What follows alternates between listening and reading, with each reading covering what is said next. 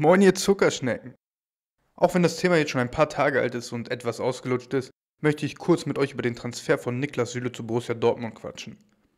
Bevor es losgeht, lasst gerne ein kostenloses Abo und ein Like da, um den Kanal zu unterstützen. Es kostet dich nur ein paar Sekunden, würde aber echt weiterhelfen. Vielen Dank und viel Spaß mit dem Video.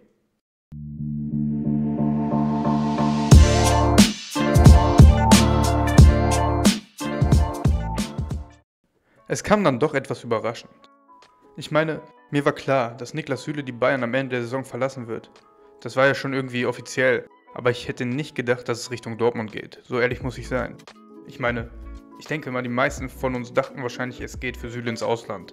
Premier League oder PSG, Juventus, irgendwie sowas in die Richtung. Im ersten Moment war ich wie gesagt sehr, sehr überrascht. Und ich konnte den Wechsel auch nicht so wirklich nachvollziehen.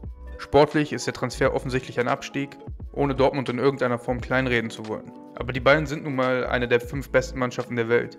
Und die Bayern sind nicht ohne Grund auf dem Weg zur zehnten Meisterschaft in Folge und spielen jede Saison um die Champions League mit. Sportlich als auch finanziell hätte sich wahrscheinlich eine Vertragsverlängerung für Süle mehr gelohnt als ein Wechsel zu Dortmund. Gehe ich einfach mal von aus. Aber kommen wir zum Thema Wertschätzung. Und ja, ich weiß, das Wort ist negativ behaftet, weil es eher zu einem Meme in der Fußballwelt geworden ist, aber Süle zeigt mit seinem Wechsel, dass es ihm genau darum geht.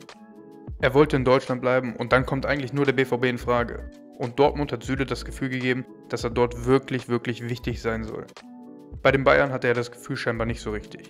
Trotz Topleistung war er nie unangefochtener Stammspieler und hat nie so richtig das Vertrauen gespürt, was er sich vielleicht gewünscht hat. Und auf menschlicher Ebene verstehe ich den Wechsel dann doch. Ich finde, der BVB hat einen absoluten Weltklasse-Transfer gemacht. Mit Süle kommt zumindest der meiner Meinung nach beste Innenverteidiger der Bundesliga zum BVB. Das Problem ist, dass einigen Medienberichten zufolge dafür im Sommer Akanji verkauft werden soll und Süle daneben Hummel spielen soll. Und das wäre meiner Meinung nach einfach dumm. Ich will da in keinster Weise irgendwie einen Mats Hummels kritisieren, der eine großartige Karriere gehabt hat, aber für mich ist er nicht mehr auf dem Level, wo sich Dortmund vielleicht in ein, zwei Jahren sehen will. Und mit Akanji und Süle hätte man eine brutal starke Innenverteidigung gehabt.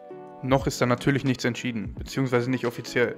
Aber wenn man Akanji verkauft, dann wird man dieselben Schwachstellen haben, die man seit Jahren hat in der Abwehr.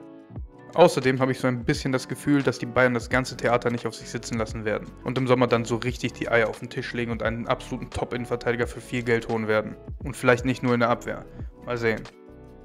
Ich bin auf jeden Fall gespannt und hoffe, dass durch solche Transfers die Bundesliga endlich mal wieder ein bisschen Spannung in die Spitze reinkriegt. Wäre zumindest wünschenswert. Aber genug von meinen Gedanken. Schreibt mir gerne eure Meinung in die Kommentare. Ich bedanke mich bei euch fürs Zuschauen. Macht's gut. Haltet die Ohren steif und ciao, ciao.